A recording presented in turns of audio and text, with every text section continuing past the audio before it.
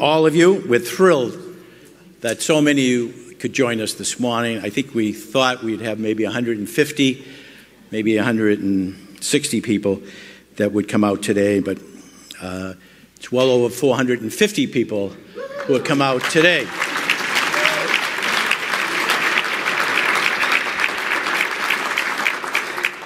It's amazing what coffee and muffins do. I mean, they just People say, yeah, I'm here, count me in. But no, this is, uh, again, probably uh, one of the biggest events we'll have all year. So uh, I just want to say uh, thank you for all that you do, being members of the New England Council and finding time to be here today. And while I'm thanking, I would be remiss if I didn't say thank you to our friends at Fidelity. Not only just putting us here together and sponsoring this morning's event, but for their extraordinary support that they have given to the New England Council year after year after year. We are so blessed to have them as members of the New England Council, but more importantly, to have them here in New England. When we talk about corporate citizens, Fidelity is high on the list, always there, but in a very quiet, very unassuming, unpretentious way they don't look for the fanfare, they don't look for the press, but they look at the needs of people throughout here in New England.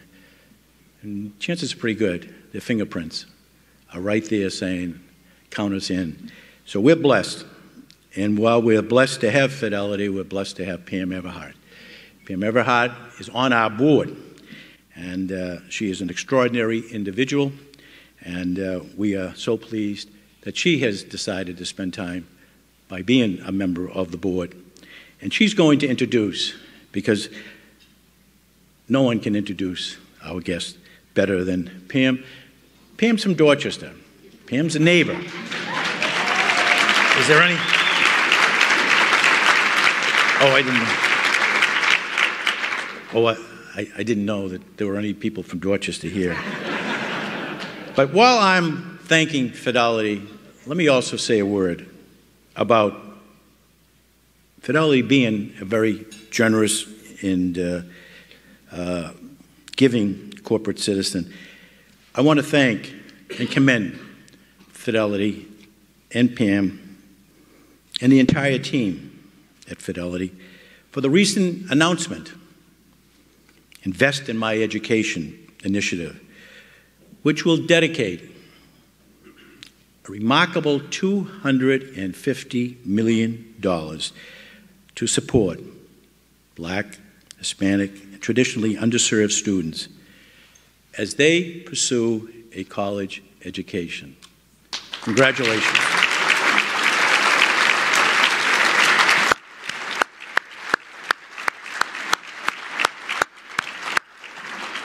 2023 has gotten off to a very busy start for the New England Council. This past year, we did over 50 uh, events throughout New England. I think we're on our way to breaking that record this year. We have some great uh, programs planned in the weeks ahead. In New England, we look forward to hosting Congressman Richie Neal, Mayor Michelle Wu, Congressman uh, Joe Courtney, uh, just in the next few weeks.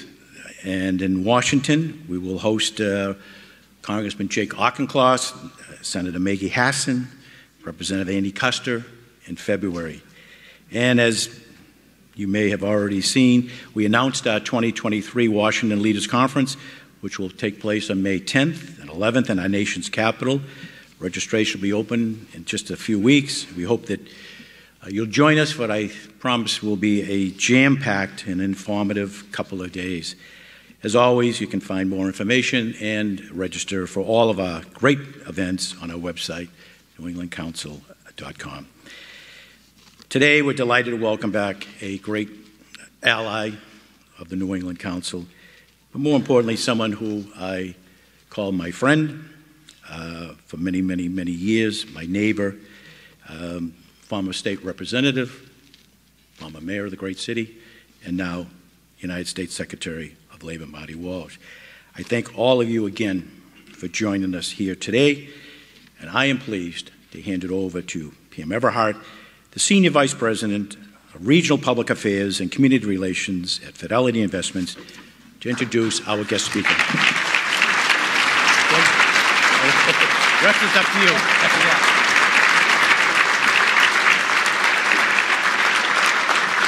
Good morning. Uh, Fidelity was delighted to host the, a council breakfast back in December uh, with the secretary, and we're so excited to sponsor this one this morning. We're so grateful for all of the work that the council does to help the business community in New England connect with leaders in Washington who are shaping policies that impact our region's economic well being. Today, we're honored to welcome one of those leaders and one who needs no introduction in this room uh, given his long history in public service. Um, as Jim mentioned, um, he was my state rep in Dorchester. Um, and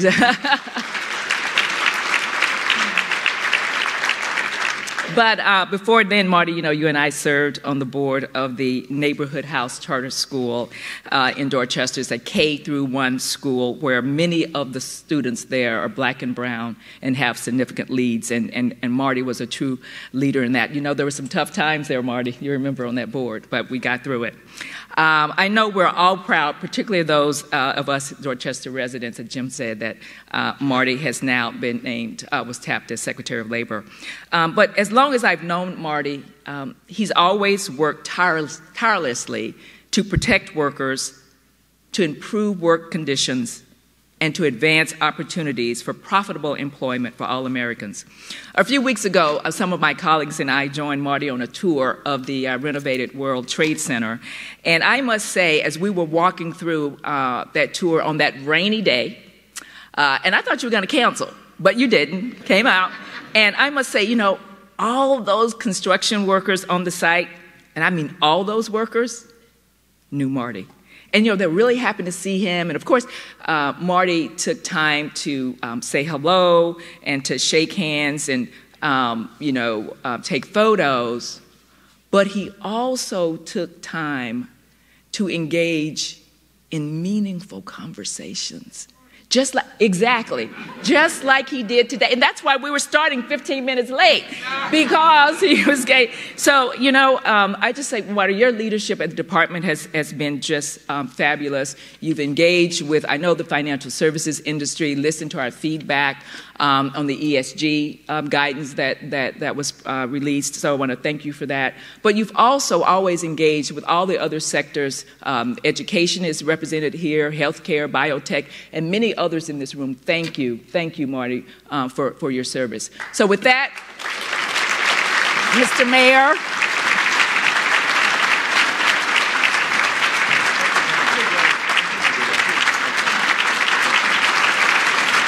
Thank you. You.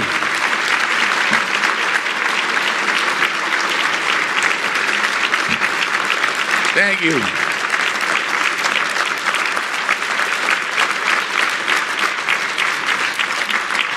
Thank you. Thank you, Pam, for that. And, and, thank you for the standing ovation now in case the speech is really bad. Um, uh, I want to thank Pam. Uh, you know, I go back a long way, Pam. Uh, Neighborhood Charter School Board. Was in the very beginning of, of the inception of the school, uh, and, and, it was uh, those early days were tough. And as it went through, I got a chance to know Pam. And then when I ran for office and state, became a state rep, Pam uh, and her family was a big help to me. So I want to thank you for all that you do, and thank you to Fidelity for sponsoring today and all that you do as well in this. In this, you know, Fidelity is just not just a Boston company. If you don't know, it actually reaches across the United States of America and the world. So uh, I think we're so parochial in Boston. We think like the you know the the national companies are just a Boston-based company, but you actually actually have they actually have offices. Like when I when I go to a city and I see like one of the Boston companies in office, I'm like, oh look at that, that building too. Get excited. Um, the, I want to thank everyone for being here today. I want to thank all the the the, uh, the current uh, and former past elected officials. I think the only current elected official in the room, I think, is Erin Murphy, City Council, who like never stops working. Um, hi, Erin. She literally goes to everything in the city of Boston every day. So thank you, Erin. And to my former colleagues uh, and, and, friends and past elected officials here, there's a lot of you. And if I stop mentioning one or two or three or four or five or six of you, I'm going to leave somebody out and get in trouble. So, oh, uh, sorry. Um, so I'll come back to you in a minute. Mayor Sullivan's here from Braintree. Where's Mayor Sullivan? Uh, Brockton, Brockton. Sorry, Brockton. Sorry, Mayor. I was thinking of the other Sullivan when I was saying you, uh, but the mayor of Brockton, who, who actually is, is, an amazing guy. I had a chance to work with the mayor uh, in the beginning, well, before that, but in the beginning days of COVID, we had a call every Sunday night with the mayors uh, from around eastern Massachusetts mostly, and, and we were on the calls and talking about what's happening in the cities and towns across the Commonwealth, and we're sharing best practices, and the mayor was an amazing uh, asset to that call because he was talking about working in a, in a community that has so much diversity and really how do we get into communities uh, that, that has language barriers? And he was a huge help. So thank you mayor for, for all your work. Um, i want to just also just congratulate a couple people. I want to congratulate governor baker uh, for doing an amazing job as governor of commonwealth of massachusetts who served us for eight years and did a really great job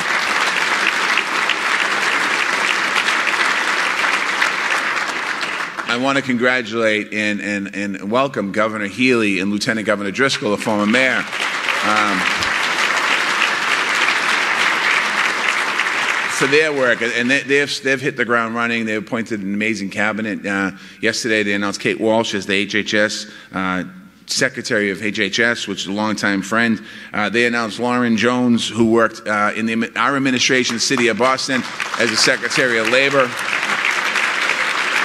Um, she's going to be working on workforce development issues, and I don't know if Lauren's here, but uh, it's a great, great appointment uh, by by the governor, uh, and then also all the other folks that, that they're appointing. So I want to wish them well because I know uh, elected representation matters, particularly to this group here in this room today, because it is important who's, who the leaders are and how they move our city and state forward in our country. Quite honestly.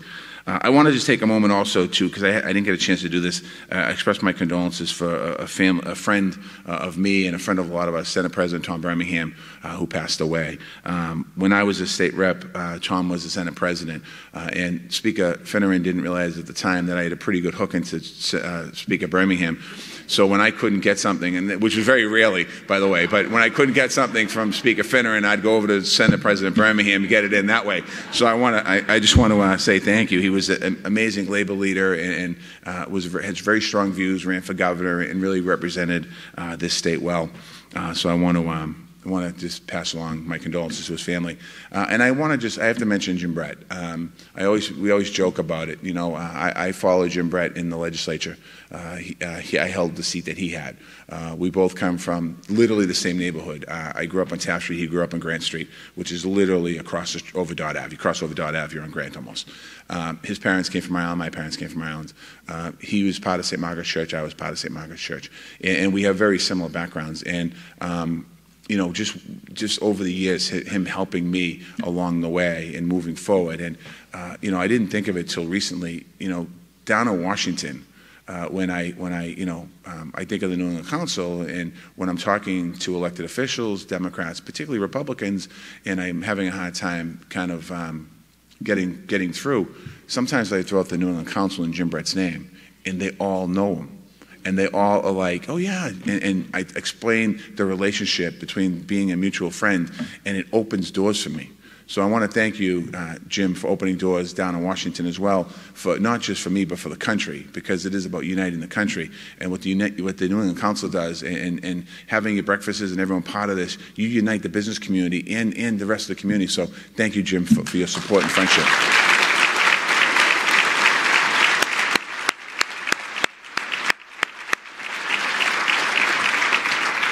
So, Pam talked a little bit about, and Jim talked about my, my opportunity. I grew up in Dorchester, as you all know. Uh, I'm not going to go into a whole spiel again. Uh, I'm not running for office, so I don't have to do all that. Um, I served in the legislature for 16 years. Um, it was an amazing opportunity. Um, and, and, as, I, as I did all those roles, I ran the building trades in Boston for a couple of years as well in my 2011, 2013. And, and what it did to, for me was really prepare me for the next role I would have um, in being mayor of the city of Boston. And I had no idea that it was going to prepare me, the mayor of Boston, to be the Secretary of Labor for the United States of America at the time. So when, when I ran for mayor of Boston, people, uh, you, some of you in this room, actually thought I was too close to the unions and thought I'd be terrible for business and awful for the city of Boston. So I want to thank you for that. Um, and, and I certainly, you know, we were talking one day at the campaign office about, you know, what do I, how do I do this? How do, how do I, how do I get my message across? They're saying I'm just a labor guy, and, and I'm not just a labor guy. I'm like, I'm a, I can be a business person, I can do this and that. And, and what we decided to do is rather than run away from it, we, we decided to embrace it. And, and what I said was, I wear my, my labor credentials as a badge of honor. And I talked about, I made no secrets about who I was and what I was all about. And, and, and certainly, as we continue to move forward, we proved the media and, and folks that they were wrong, and it was nothing uh, further from the truth. I was committed to as mayor of Boston, and some of my team is in this off, in this room today, and I'd love to mention you all, and I, I'm not going to, but thank you because you're amazing. Uh, I look around, some of, some of the folks in my office are still working for the city of Boston, and some aren't. They've moved on to other places. But I couldn't have done this without all of you and, the, the, rep, the people that I work with in this room today.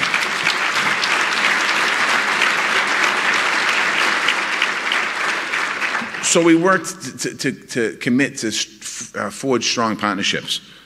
We brought people together to listen to their views. We found common ground. And just some of the accomplishments that we were able to, to, to accomplish our economy added in seven years 140,000 new jobs in the city of Boston. We approved $48 billion in new development. We approved in under construction over 50,000 units of new housing. Government, our city government earned a perfect AAA bond rating for seven consecutive years in a row. That's the first time that's ever happened in the city of Boston.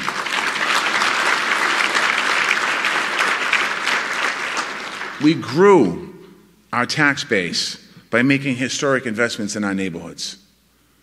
We fully renovated libraries in Roxbury, Dorchester, Roslindale, Copley Square, and other places. And the importance of that is really understanding to make those, those investments. We built brand new high schools and created new high schools that are being built right now. The Dearborn STEM Academy, Boston Arts Academy. Great. The best public arts high school in the United States of America is in the city of Boston.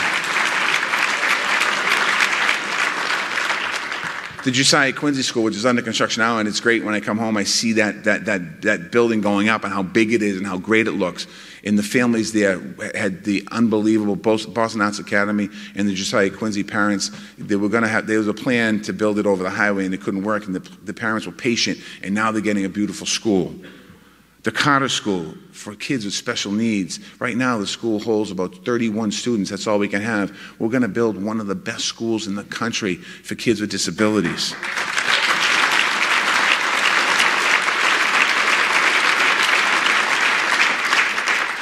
With the sale of Winthrop Square Garage, we're able to invest $30 million in Franklin Park and also Boston Common, building those two gems, those two jewels in our city, and making renovations complete renovations of neighborhood parks. We, we were building parks all over, all over the city of Boston.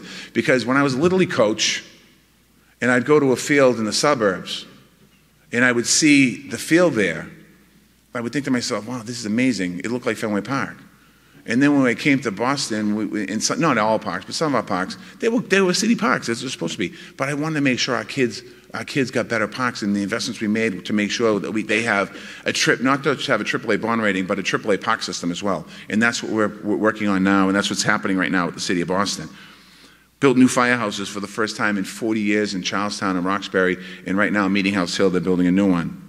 The first full renovation of City Hall Plaza in 50 years. I just want to take a minute because these are important. The reason why I'm telling you about this is that the architect of City Hall came into my office one day and he sat across from me, and, and Joyce brought him in, and he was talking about the building, and he said to me, City Hall's unfinished.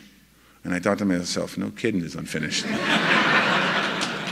and he said, we started to, to, to, put together a group of folks. Pat Brophy led the, led the, led the way, and and we're building, you know, and the city will continue to do this. The mayor will continue to do this, build around the park, but open up the plaza for the community. If you go by it today and you see the plaza, it's different than it was before because it's a space for the neighborhood, and it does make the beautiful. The, it will make the building beautiful and incredible. So there's opportunities there. But this all happened because of the people I worked with every day. We're able to house 2,500 homeless people into permanent housing. We were able to end veterans' chronic homelessness, something that we're doing right now, again, in the federal government working on. Our Boston's Way Home Fund built hundreds of, hundreds of new supportive housings. These are generational investments. But none of this building, none of the, what I just talked about, could happen without partnerships. The neighborhoods, the private sector, the state, labor, and people in this room. So it took I took what I learned as mayor with me and all of the lessons we learned to Washington when I was asked by the president to be the Secretary of Labor. I work with a president and I work with a vice president who approach our nation's challenges the same way that we work here in Boston by uniting the country and moving forward together. I just want you to take a step back, and some of you have heard some of these, some of this speech before, but I just want to, I think it's really important. I want everyone in this room to take a step back to where we were two years ago and think about where we are today. A week ago, we hit the two year anniversary of the Biden Harris administration. Two years ago, 18 million people were out of work or on unemployment benefits. Those numbers are real. The unemployment rate in the country was 6.3%. Hundreds of thousands of small businesses had closed their door. Tens of thousands in Massachusetts have closed their door. And thousands of people were dying every day from COVID 19. President Biden took office with a pledge to unite our country. He set out a vision for relief and recovery through the American Rescue Plan, the first piece of legislation that he filed and passed. He made vaccines universally accessible, along with testing and also PPE. We got support to families and to businesses to reopen our economy all across this country. And he said, We're going to build an economy from the bottom up and the middle out. What he means by that is back in the day, you heard about the trickle down economy, that if you do really well here, it's going to trickle down to everyone. And it didn't trickle too far down. And how do we create a, an opportunity from the bottom up and the middle out to give people a pathway, an opportunity in every community? So far, the results are pretty clear. The numbers are pretty clear.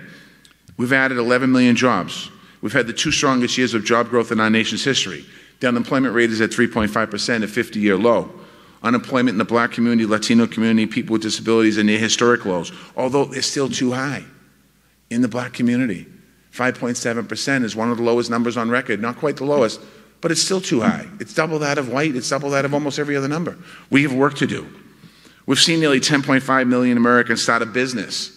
When people talk about where the worker shortage and where the workers are, 10.5 million Americans who used to work for somebody decided to go out and start their own business. That's some of where people are right now. They're out there trying to make it work. It's, been a, it's also been two years, I would, I would say, a good two years for business. It's been a two, good two years for working families. We got our supply chains moving. Inflation has come down. Inflation's still an issue. I'm not saying it's not.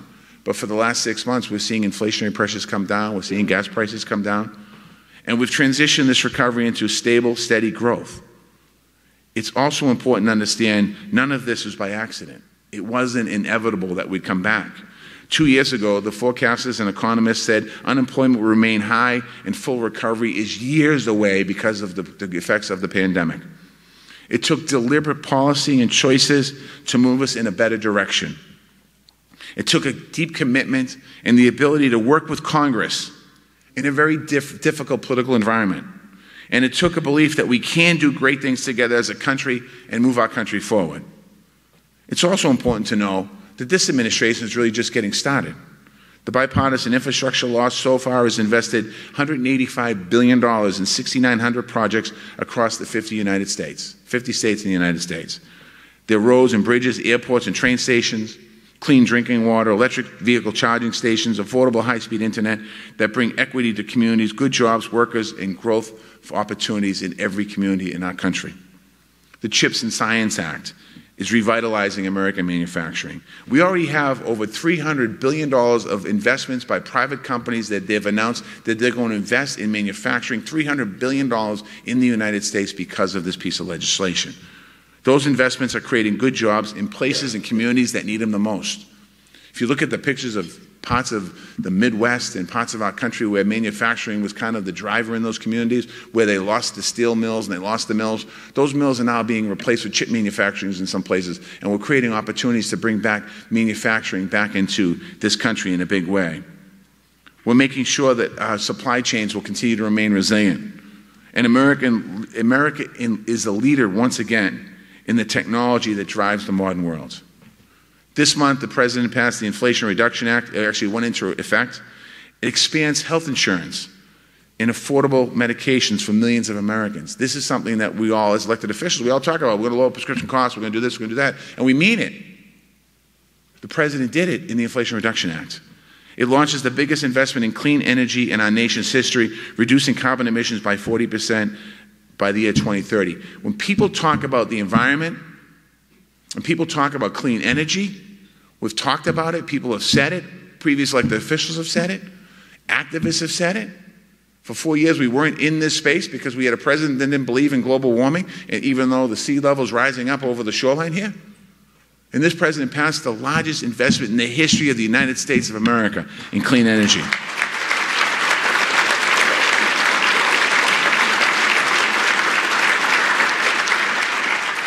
It's not only been historically strong two years for our economy, the administration has laid a foundation for a new era of American industries and American workers. Fundamentally, the president's economic strategy is about creating good jobs with equity and access to all our communities all across the country. And a large percentage of these jobs do not require a college degree. These, this work is truly about rebuilding the middle class. Then at the Department of Labor, what I've learned as a state rep, what I've learned as the head of the building trades, what I've learned as mayor of the city of Boston, we're thinking about how do we create a, and play a central role in this. And the Department of Labor is playing a central role in this issue, in this movement around the country. At the beginning of the year, we launched the Good Jobs Initiative. It's a collaborative effort across the economy, across the cabinets. I work with my partners in the cabinet to make sure that our new federal investments are creating good jobs, making sure that there truly is a pathway for women into industry, construction, and other industries. Make,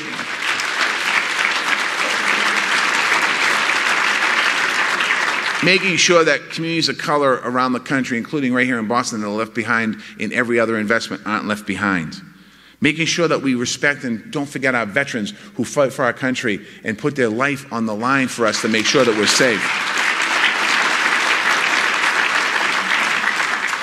We're working to make sure that people who need a second chance, a lot of us in this room needed a second chance and maybe a third chance for opportunities. We want to create those opportunities. And something that's and something that's near and dear to Jim Brett is making sure people with disabilities aren't forgotten, that they have a chance to go to work and work with all of us in our offices. We work with employers. It's not a top down approach. It's working with employers. Many of you in this room and around this country asking employers to come to the table and help us. How do we, how do we attract people? What do you need? How can we help you? How do we do this? How do we do this collectively together? We're working on looking at whether it's flexibility and paid leave. We have it here in Boston, it works. Companies that offer paid leave have better retention and better attraction opportunities for their employees. There's no lie, just look, ask them. Ask Levi Strauss, how do you, how do you keep your employees? They offer paid family medical leave. And, and is there abuses? No, there's no abuses. They're happy. People are happy working for the company. It's thinking about those opportunities. It's training programs, creating pipelines. It's also about understanding how to operate in a global opportunity in global world and making sure we have conversations. Last week I, I, was in, I was in Davos, Switzerland, first time I was there for the World Economic Forum. I fit right in. you can imagine. They were, they were very excited to have me coming in, sitting in there. Um, no, all seriously, we had a good time. Well, it was, it was, it was I wouldn't call it a good time. I had good meetings. Um, we had discussions. I met with the top CEOs, international CEOs, uh, about the future of work and other folks that were there, other, other ministers of, of labor from, from, from Italy and France and India and other countries around the globe. We discussed what the future will look, looks like. We, every country is battling with what we're battling here in the United States of America and how we develop the talent that different companies and industries need. I made a point to, to, to, talk, to talk about that, to talk about growing our labor force. And I talked about, more importantly, we need to address inequality in a meaningful way, not just in the United States of America, but around the world. And leadership needs to come from across every sector that we have. That means business leadership as well as government. Labor needs to be at the table. It's, you're at the table here in Boston, but around the country, labor's not at the table all the time. We need labor at the table. We need nonprofits at the table. If you look around this room today, you have business, you have labor, you have nonprofits, you have community leaders, you have elected officials, you have everyone in this room today. And, and, and, if I wasn't speaking here today, it was a different speaker, you would have the same group of people in this room today, understanding the importance of collectively working together. These are issues that we can only solve by working together. So I got a chance to visit companies in Switzerland and I went to Austria afterwards where labor management collaboration produce long-term solutions for the talents they need. I saw apprenticeship programs that start young people in high school on paid pathways into good careers. We have an opportunity in America right now to build a system like that, to meet the challenge facing both workers and employers. And this is a priority of mine. I just want to tell you one quick story. So I was in, I was in, um, it was in Austria. We're at a training facility and we were walking in there, and there's a 15 year, couple, bunch of 15 year old kids there. 15 year old kids there, they're in their first year of apprenticeship. The, the, system's different than we have here in the United States. And I said to the young man, I said, Well, how, you know, what are you doing? He said, Well, I start over here on the computer, and I learn how to code, and I learn how to use the specs to build a, a, a, a program that then I take the program over to the 3D printer and I implement in the 3D printer and then I, I print something off the 3D printer. So he said, give me an example. So he showed me how he, he designed a nut and, nut and bolt he brought it over to the 3D printer, he put it in, and he, and he, he built a nut and bolt on the 3D printer. He's 15 years old. And, and I thought to myself, if I sat and listened to this guy, kid, and shut my eyes, I would have thought he was a man.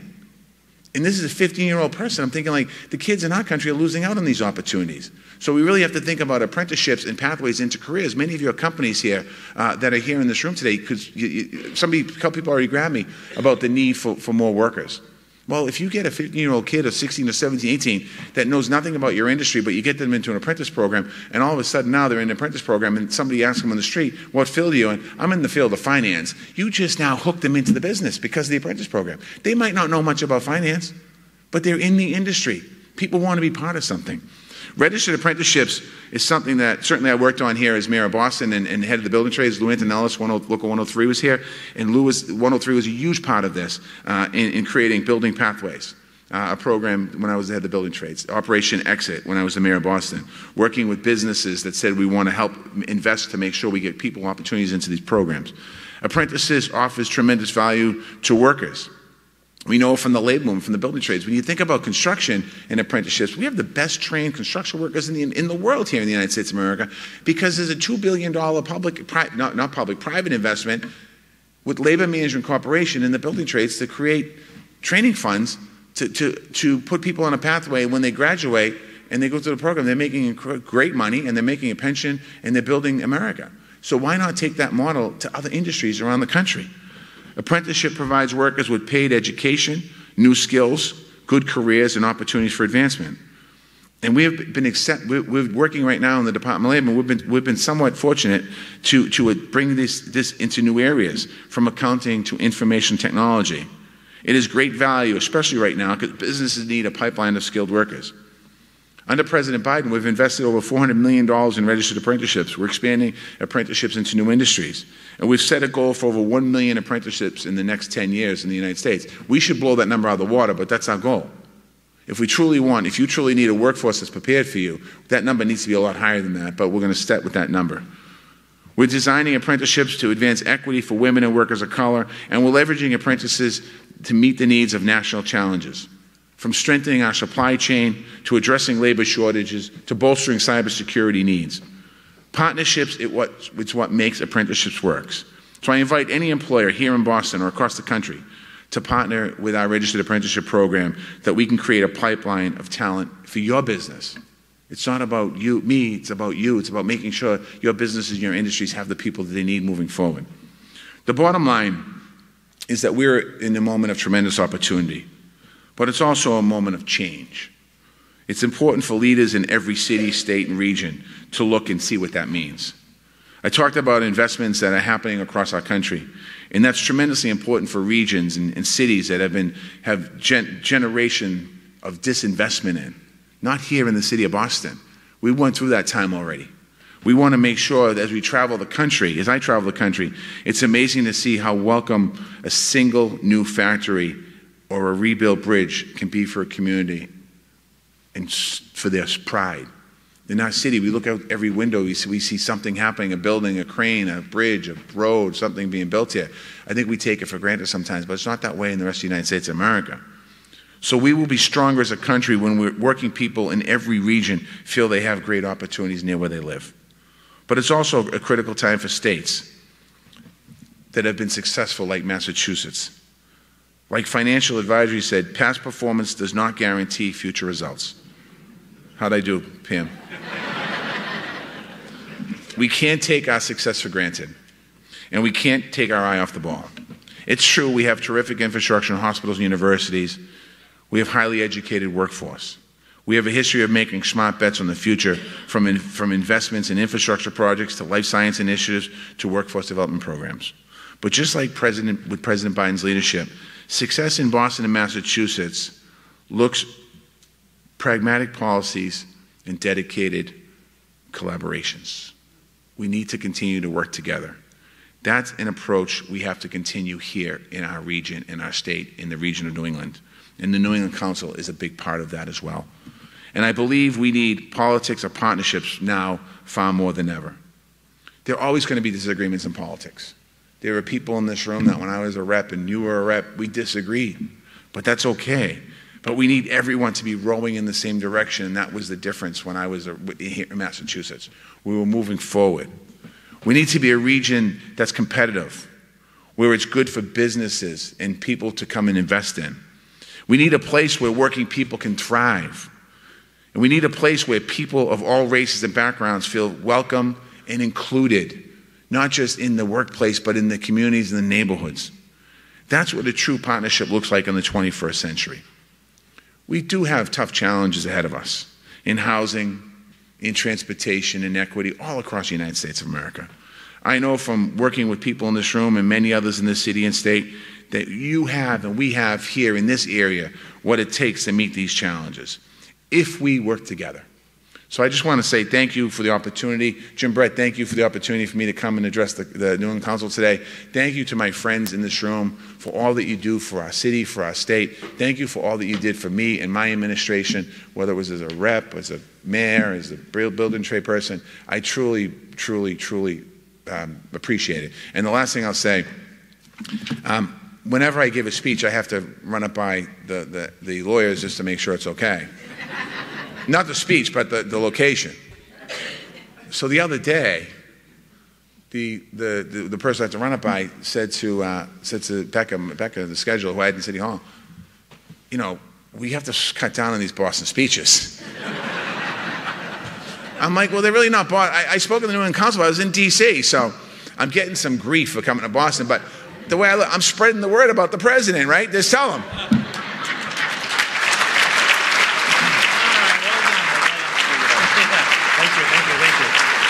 Okay. Wow.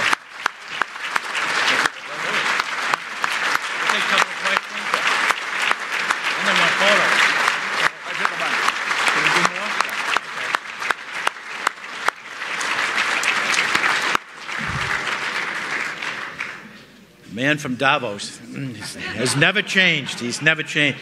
You know, the, the, uh, the secretary was very kind in saying that uh, we have. Uh, you know, we have a mutual connection growing up in the same neighborhood, same school, same church, same playground, parents coming from Ireland, you know, his parents from, from uh, Rosmuc and Galway in the 50s, and my mother and uh, father from Sligo in the 20s. And uh, Pat was pretty similar up until one uh, point in our lives. we both ran for mayor. and uh, one was elected.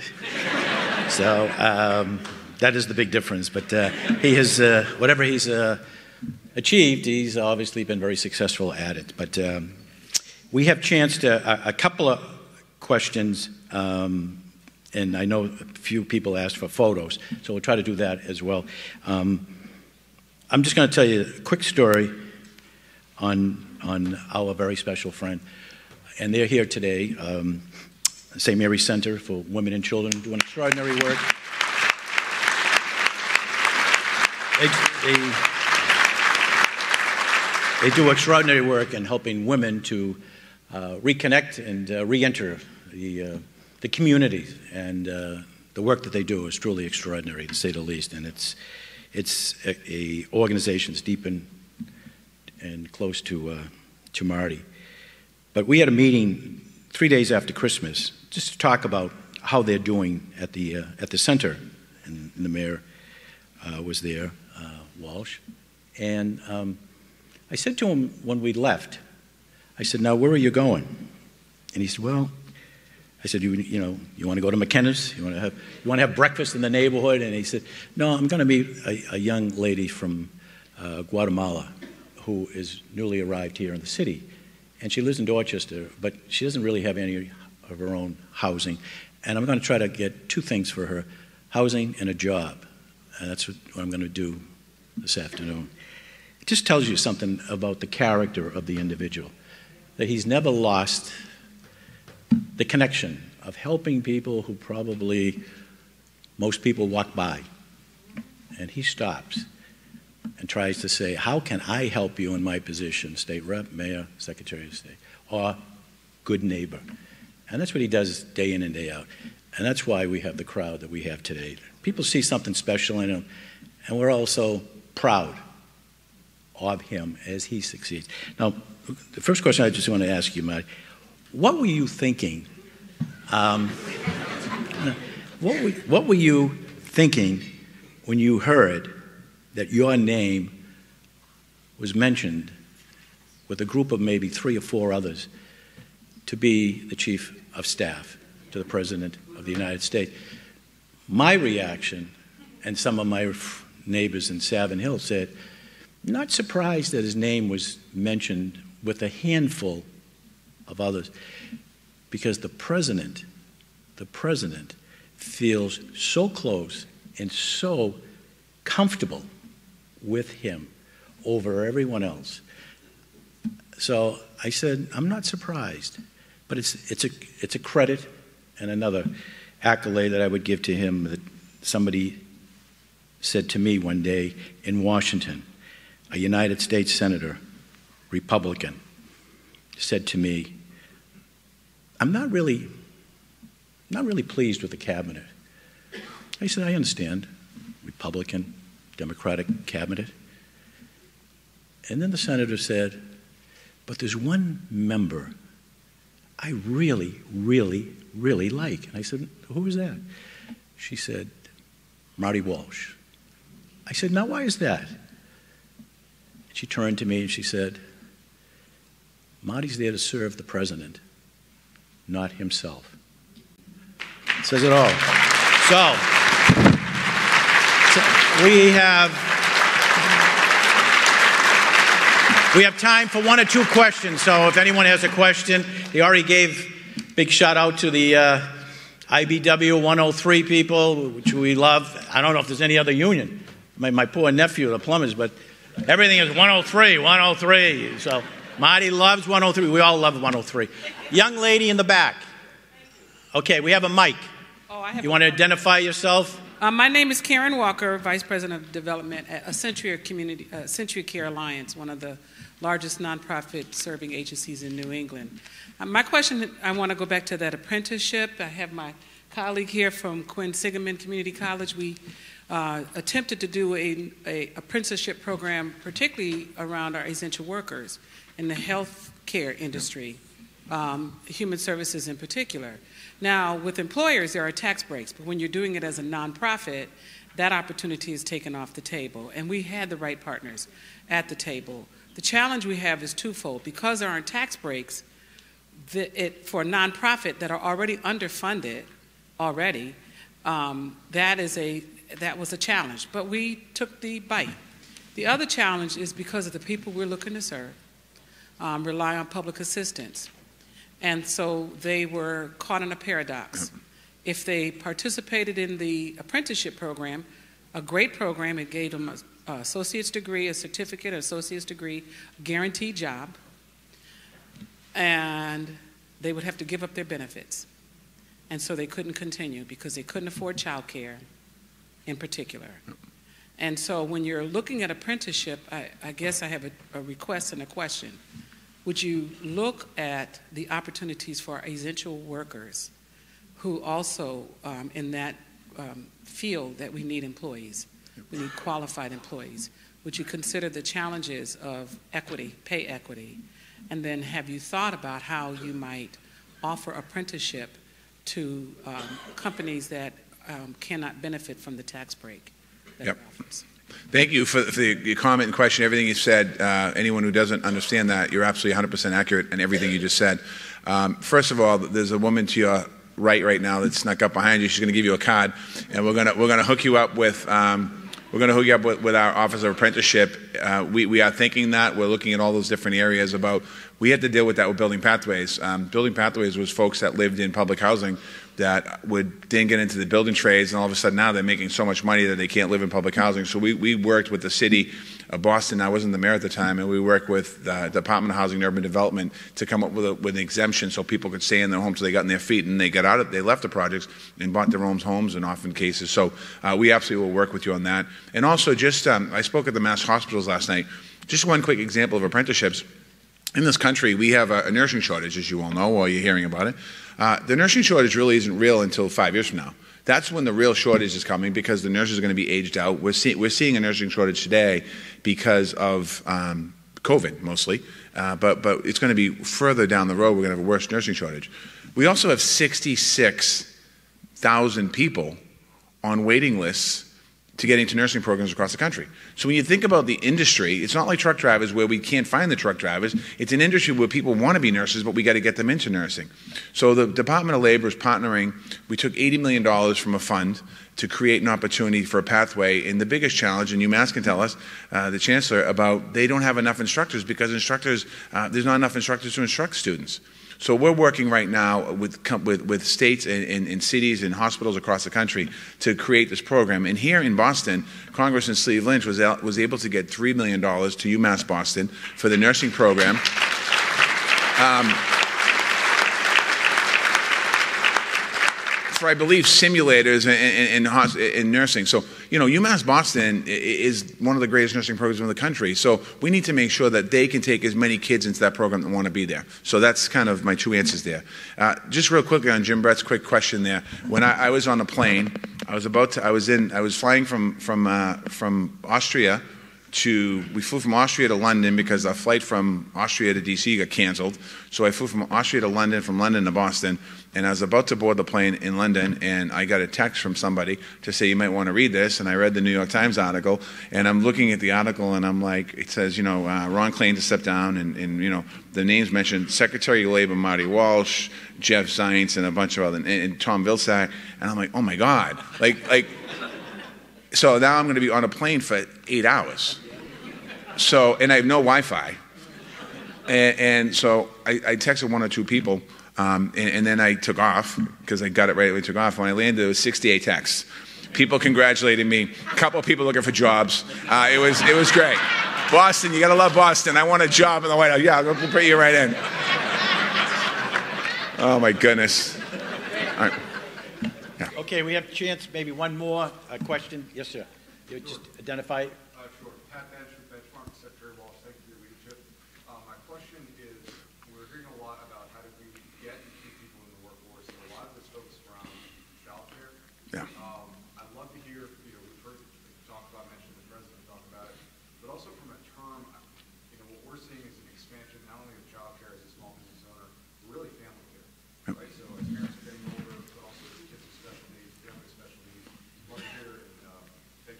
All right, thank you. So, so I get questioned. Eh, the first Friday every month is, is Jobs Day. And, and on Jobs Day, I go out into the country, and the president does as well. Um, but I'm on all the different TV stations, all the national news outlets talking about the economy and the unemployment rate and how come it's low and why we're doing this and great jobs. And they come back with, you know, inflation. The Fed wants to, we should have higher inflation, higher um, um, unemployment, and this and that. And I push back on that. And I talk about great goals, uh, gains in, in, in, in, wages for workers. Isn't that bad for the economy? I'm like, well, I don't know if it's bad for the economy, but it's good for the worker to get more money. So we talk about that. But when you think about when you think about where we are at this moment in time, and I just want to you know paint a little bit of a picture here for you. So we have we have about 62.7% participation rate in the United States in employment. It's usually around 67%, which is roughly about I know there's about 5 million people that aren't participating right now in the workforce. And you're thinking, okay, where are they? And you think of the, let's let's think of the challenges for a minute. We lost over a million people to COVID-19 roughly 40, 42% of those folks that we lost were of working age. They weren't older people that were retired. They were working age people. So we lost those folks out of, out of the workforce. Last year, in 2021, the, the rate for overdose, overdose, overdose deaths was roughly about a million people. When you think about addiction and, and um, substance use disorder and mental health services, I'm just, I'm guessing this. If every one person loses life, there are five active people out there. Those folks aren't in the workforce. So you think about that. That's millions of people that aren't in the workforce. And then you think about the pandemic when the pandemic came and our system of childcare. You know, we think we have a great system of childcare in Boston, Massachusetts, and we have a decent one, but we don't have a great one. We don't have that, that automatic childcare for everyone. If they don't get a voucher, they can't go to the Boys and Girls Clubs of Dorchester. If they don't have the ability to pay, they can't really pay because they're paying their entire salary. So a lot of mothers and parents are out of the workforce because we don't have good, strong, quality childcare.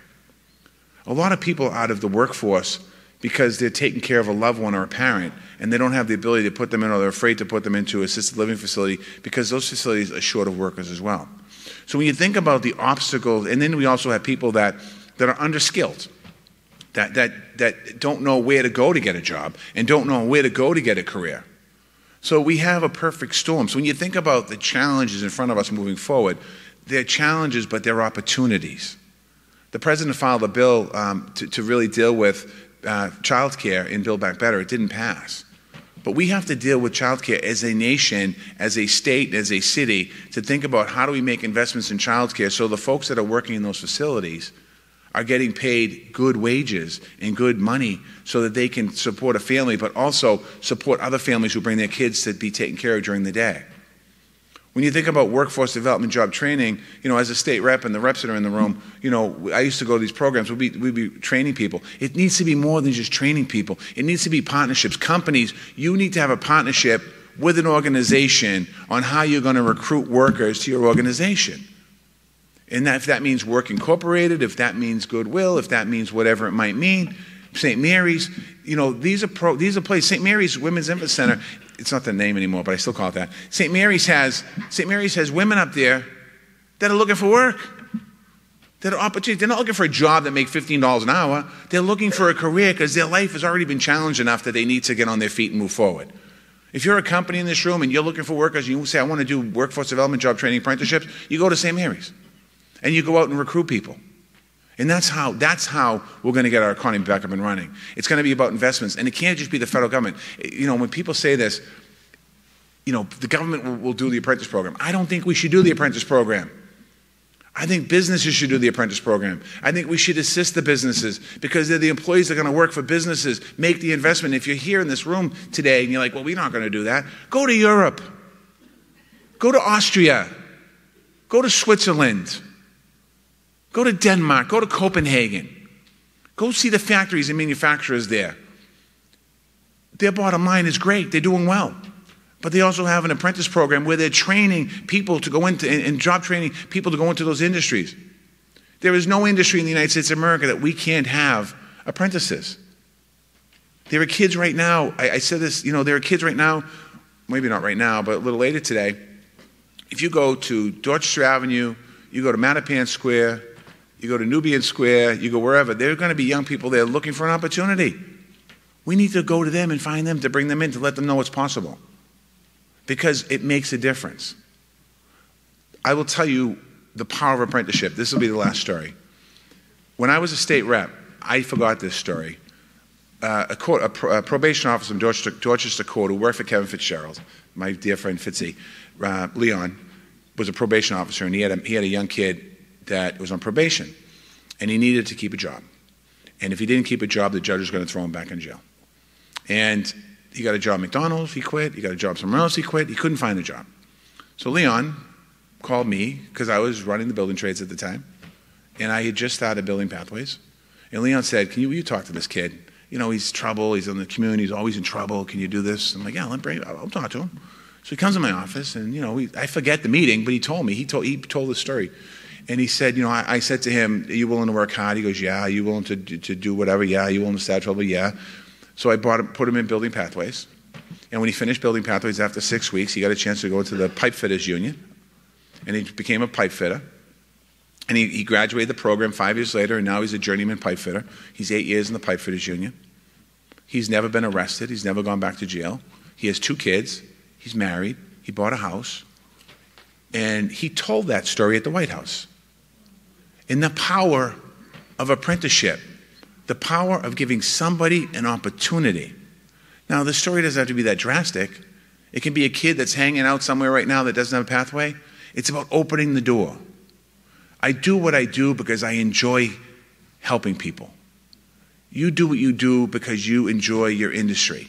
Take that same interest that you have in being successful, in making opportunities for your company and making money. There's nothing wrong with that. I'm not the person that criticizes CEOs. I don't care about that. As long as you create pathways and give that, give it away, pay it forward, as they say. Create those opportunities. Because I guarantee you, at the end of the day, when you put your head in the pillow, you will feel an amazing amount of joy and, and, and just accomplishment. It's better than passing, it's better than creating a product that's going to make gazillion dollars when you can change the life of one person. And that's what we need to do in the country. It's a long answer to your question, but the answer is we can do it. We just need to set up the system that works for people. So thank you. We get some pictures over here. Just a couple.